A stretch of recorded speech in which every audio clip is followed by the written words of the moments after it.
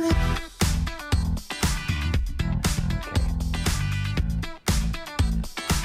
Welcome back to Houston Life. We are putting my guest co-host to work today, real estate expert Lily Jang.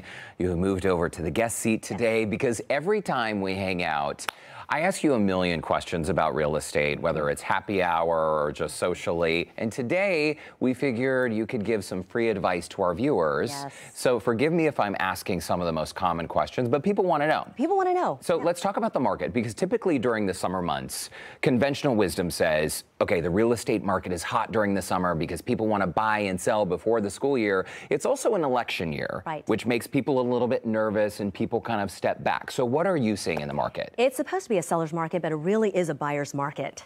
A lot of homes are sitting on the market just a little bit longer. We had hurricane season, uh, we had holidays, we have, I think, a record breaking number of travelers that went through Bush Airport, TSA. So you have a lot of people who aren't here. And then you add to that interest rates and election turmoil. And a lot of people are just like standing by, sitting on the fence, wondering what's next, holding on to their money. So we're seeing a lot of that right now. And it's so interesting how quickly things can change because I have so many friends who were looking for a home. They couldn't get into homes because it seemed like every home they made an offer on was getting multiple offers, or an all cash investor was coming in Right. and swooping up the house and then renting it out. Mm-hmm. That's not happening as. Well, much anymore. we're not seeing that as much anymore. So right now, what's what's really interesting is that my buyers who want to invest in a house, here's the thing I need them to talk to their lender about. Well, first of all, talk to a lender first. Um, Find out what you can afford. Find out your buying power and your purchase power. And the thing is, because of interest rates, you might not be able to get the same amount for rent that covers your mortgage. So I really sit down with my buyers, walk them through what that scenario looks like with their lender, and you got to talk to a trusted lender. Ask me if you need somebody.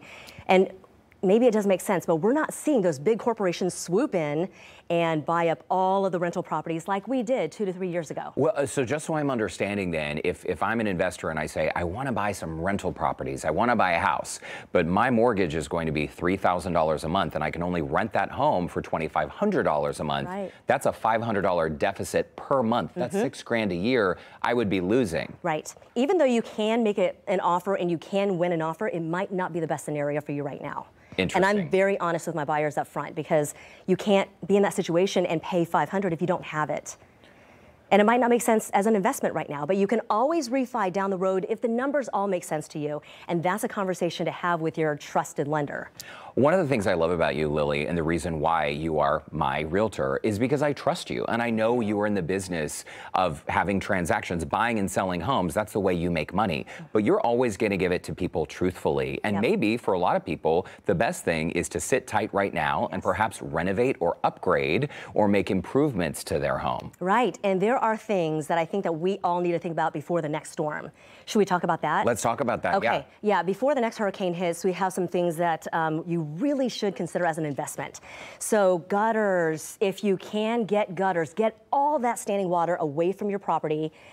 And you know the gutters that go underground, they divert water away from your yard, they take it all the way out to the curb. Yeah. Get those as well. It's a pri- it's pricier. Those are called French drains? No, that's different. What's a French drain? So drain? French drain is just a drain in the middle of your yard in the backyard, and it takes all that standing water in your yard and it takes it underneath your house all to, all the way to the street. Oh, interesting. Yeah, so I think, I mean, I have experts who can do that. If you guys need um, trusted contractors, please reach out to me. This is a very good point because a lot of people are getting scammed. Don't Yes. go with someone who shows up and knocks on your front doorstep. Call call Lily. Call Yeah. Lily. Call someone you trust who has you know a, a solid recommendation. and I have a list of vendors that I can pass along to you guys. Um, another really important thing whole house electrical panel, the surge protector. And this is something that is standard. It's code in new homes, right, Lily? It's code in new homes. It's required for current construction. Um, but if you don't have it, if your house is 10 years old, you can always get it done. It protects all circuits from power surges. you don't get fried when the power comes back on. That's right. I think one thing we learned, especially after Beryl, remove all those dead trees. We saw what a catastrophe that's been. Mm-hmm. and urge your neighbors to do so as well. We, we had a friend whose neighbor's dead tree fell on their house. Yeah. Yeah.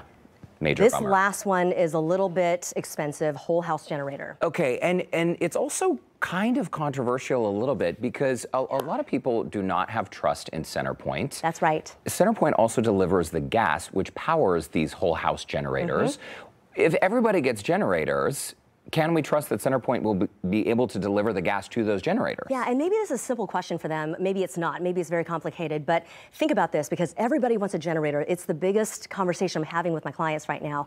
And if a million people get generators at the same time and they fire up at the same time what does that after do? the next storm, where is uh, the source? Is there enough?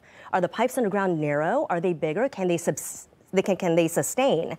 Um, and accommodate? Do we have the infrastructure for everybody to get gas at the same time? It's an important question. Those are really important questions we don't know the answer to, and we should look into that. We should get our investigates team on that. Yeah. Uh, before we wrap up our conversation, we have some video to show our viewers, Yes. and this I think is a very interesting trend. Yeah. You were just telling me that a lot of Houstonians are moving farther west and making this their primary. Yes, this video is shot by Nick Cadena. This is Panetta Homes. They built this stunning home. It is a luxury home, but it's now a primary residence for somebody just like 30 minutes from Katy. And this is on Houston's moving acres? west. Yeah, six acres. Look how lovely it is. So Houston's moving west. What's driving that, Lily? Because again, people are not, these are not second homes. Right. People are making these their primary homes. Is, is this like a hybrid work situation That's or right. people who can work remotely? Mm-hmm. That's the situation. You've got six acres. You can look. We can add a pond for you. This house is under contract now, but we also have a home office in this house by Panetta Panetta Homes because we anticipate somebody's going to work from home. It's a hybrid situation. Oh my gosh. Look how beautiful that is. And to have six acres. So Yeah. this is something that maybe five years ago would have been unheard of. That that as people, as the city is building out, people are going as far west as Bellville. Mm-hmm. Again, that's Panetta Homes. Panetta Homes. So that's just 30 minutes from Katy.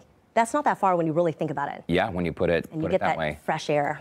Okay, I still have a million questions, but we got to take a quick commercial break. So, by the way, we have shared a link where you can connect with Lily. Visit our website, HoustonLife.tv. Look for that scene on Houston Life section. You can always find Lily Jang Real Estate. Yes.